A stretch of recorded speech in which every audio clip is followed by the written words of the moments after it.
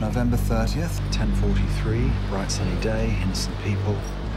Truck approaches from the west entrance. Mate, mate, you can't park here! 10.45.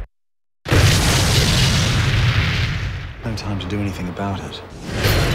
This is the most high-profile murder case in British history. You and Miss Howe are defending the accused terrorist from the government. And you're from the New York Times. I don't speak to journalists about trials relating to matters of national security.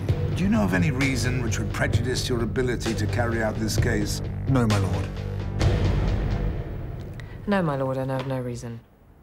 There is some evidence against you, which the prosecution believes should be kept secret from the public and from you. You broke into my chambers. I think you're mistaken. Claudia, we're being managed. Within six months, our client goes from driving a taxi to driving a brand new Mercedes, spending two grand a week. Where did all the money come from?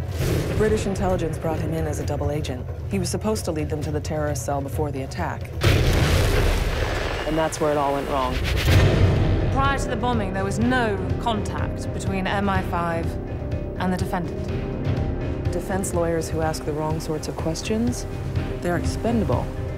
There are over half a million closed-circuit cameras in London. I'm sure there are at least half a dozen watching me right now.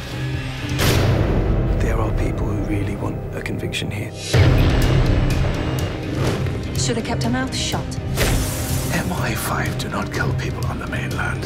What the hell have you got yourself into? We're simply trying to defend our client.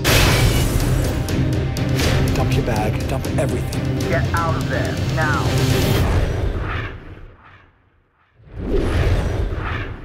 There are powers at play that neither you nor I may even hope to control.